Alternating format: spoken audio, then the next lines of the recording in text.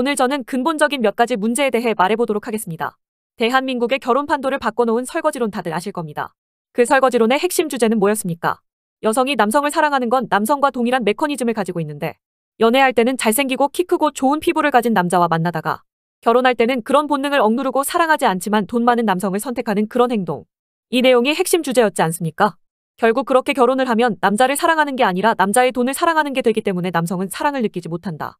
라는 걸 수많은 기혼 여성들은 인정하지 않고 별같자는 말이 바로 설거지론이다. 현실은 돈 잘 벌고 능력 있는 남자는 그런 말 안 한다. 이제는 설거지론을 무시할 수만은 없는 것 같다. 어휴 찌질한 사람들아 남자들은 잘 들어라 세상 일은 약간 내가 손해보면서 사는 게 잘 사는 거다. 여자들에게 한치의 손해를 보지 않으려 단대가리 굴리지 말아라 소인배처럼. 현실을 받아들이지 못한 피해의식 가득한 게 설거지론이다. 라는 반응을 말하며 설거지론을 말하는 남성들을 순식간에 패배자 찌질남으로 만들어버립니다. 난 내 남편 사랑해 난 내 남편이 너무 좋아. 난 남편이 힘들게 매일 출근하는 게 고마워서 삼시세끼 따뜻한 밥이라도 챙겨주고 싶은데 나 같은 여자도 있어. 라는 말을 하며 반박하는 댓글은 단 하나도 보이지 않습니다. 그렇기 때문에 2021년 대한민국에 불어닥친 설거지로는 남성들의 결혼에 대한 생각을 바꿔놓게 되죠. 남성들이 베트남 여성, 일본 여성, 미국 여성과 국제 결혼을 원하는 이유가 바로 이런 겁니다. 단순히 금전적인 조건만으로 남편을 선택하는 게 이해한가? 남친에게 얼굴을 붉혀가며 언제쯤 차를 살 수 있는 거야? 라는 질문을 할 필요 없어. 자동차가 없으면 오토바이를 이용해. 연인 사이는 행복하기만 하면 되는 거야. 베트남 남성의 평균 키는 168에서 170 정도이고 베트남 여성은 대부분 22살에서 27에 결혼을 하고 있어. 베트남에서 남자 나이는 중요하지 않아.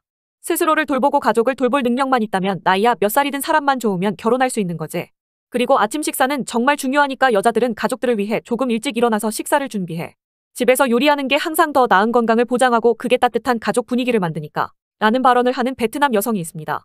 이 여성이 모든 베트남 여성을 대변하는 건 아니겠지만 기본적으로 가족을 위해 헌신하는 남편에 대한 고마움이 기저에 깔려 있다는 걸 보실 수 있습니다.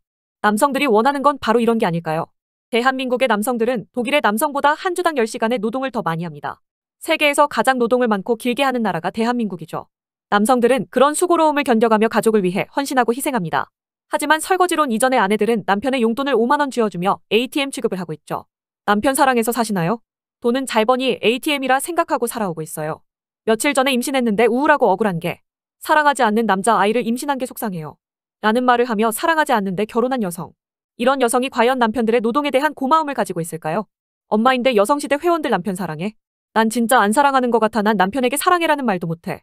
하나도 사랑하지 않아 그냥 애 아빠로서 돈만 벌어오면 된다 생각해. 사랑 많이 주는 사람이랑 바람이라도 피우고 싶을 정도야. 라는 말을 하는 이 시대의 어머니들. 사랑하지 않는 남성과 돈 때문에 결혼하면 이런 일이 발생하는 겁니다. 남성은 끊임없이 인정받고 싶어 하지만 남편의 희생을 인정하지 않고 사랑하지 않는 여성들의 모습. 결국 이런 모든 모습들이 복합적으로 모여서 남성들이 국제결혼에 눈을 돌리게 된 게 아닐까요? 어차피 자국 여성과 결혼을 해도 돈이 들어가고 외국 여성과 결혼을 해도 돈이 들어가는데 이왕이면 나를 조금 더 사랑해줄 여지가 있는 사람과 이왕이면 다른 남성의 손을 덜 타서 자신과의 사랑의 추억을 쌓아나갈 수 있는 어린 사람을 찾는 게 아닐까요? 결론은 사랑입니다.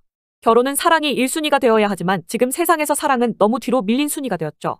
부디 이 사실을 우리 여성들이 알아차리길 바라겠습니다. 영상 여기서 마치도록 하죠. 여러분의 구독과 좋아요는 은희가 저녁에 혼맥하는데 커다란 도움이 된답니다. 오늘의 한 줄 요약.